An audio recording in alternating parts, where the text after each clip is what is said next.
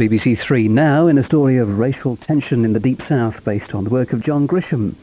An all-star BAFTA tribute to Victoria Wood on BBC One and here on BBC Two a country legend. It's Hank Williams.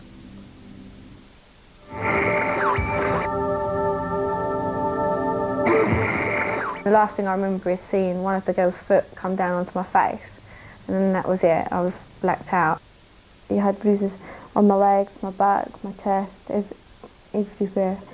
I always ended up with bruises somewhere on my body. A 14-year-old girl stripped on the school playground by a group of 15 bullies, made to kneel down, begged for her clothes. Photographs are taken and circulated around the school. On camera one, coming to two next. How much advertising space are you selling now? If I can refer to my business plan. Um, Unless it's in your head right now and you absolutely know that, I'm not going to put my money and trust you with my money unless you okay. know that like that. Boom. If you really believe that I'm going to make money, you're going to look me straight in the eye now and you're going to tell me how I'm going to do it. I mean, I don't know what, what more I can say to you. The words aren't coming to me. The, the business works. Stand by studio. On air.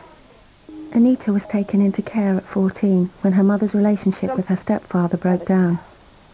At 16, she was housed in a bed and breakfast in Consett and started shoplifting.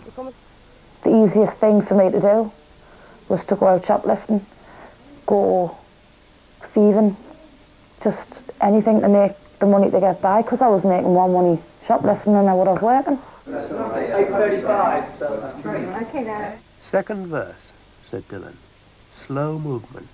Dylan the Rabbit was named after Bob Dylan, which gave rise to the most enduring myth about the series, that everyone was on drugs. Uh, yes, that is the modern myth, because we met all the university students who said, oh yes, early drug culture. Absolutely not. Isn't it interesting how we put our own spin on things? That's a relief, panted Dougal.